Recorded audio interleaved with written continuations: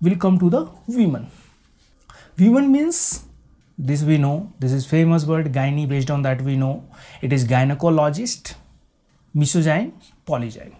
Misogyne and polygyne means miso means we know it is a hate who are hating the woman. That is miso. Polygyne means who are having the many women. Another word is there Sanskrit word that is janma. Jan means birth.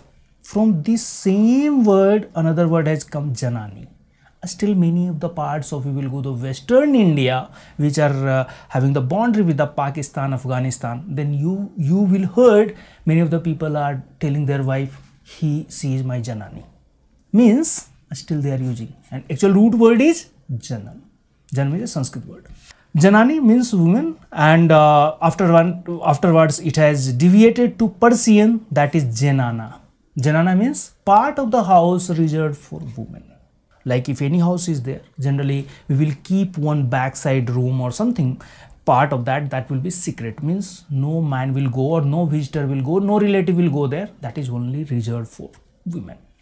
Then that is janana. And based on that janani also are still used in very you can say rustic area or bucolic area that you will find many of the people are still used janane.